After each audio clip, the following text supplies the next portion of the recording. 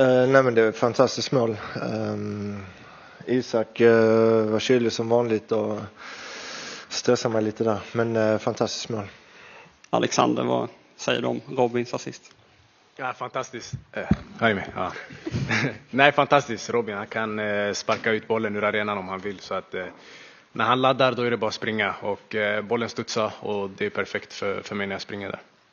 Greklands förbundskapten satt här nyss och sa att ni hade tur som vann och att det var misstag från dem som avgjorde. Vad kände ni? Uh, nej, men jag skulle väl inte hålla med om det. Uh, vi gör en väldigt dålig första halvlek, uh, men, men vi släpper inte in mål. Eh, och fotboll handlar om att göra mål. sen kommer vi ut i andra halvlek och efter tio minuter där så tycker jag att vi dominerar. Och, någonstans är det vi som gör målen och då, då, då vinner man matcher.